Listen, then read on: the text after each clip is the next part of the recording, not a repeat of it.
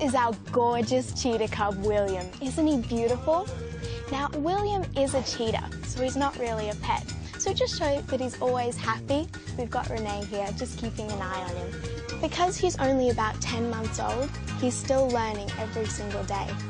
Cheetahs are the fastest land animals in the whole wide world. They can run up to 75 miles per hour.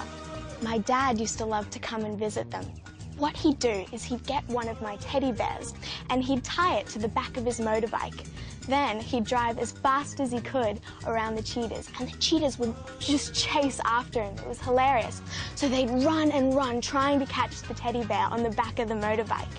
And even to this day, any time a motorbike starts up, the cheetahs get really excited.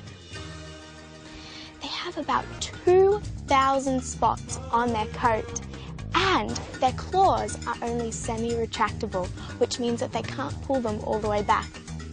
These guys are also really special because they can purr. Did you know that tigers and lions can't purr? They've got a really rough tongue, almost as rough as sandpaper, which is designed for licking meat off of bones. Have a look at him now. He's just eating that ice block. That ice block's made up of tuna and water, and they think it's delicious.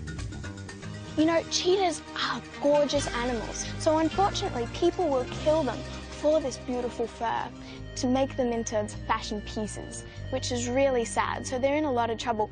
We want to make sure that they're around for generations to come. So the more people that can love William here, the better, because he's just gorgeous. Cheetahs aren't our only gorgeous big cats here at Australia Zoo.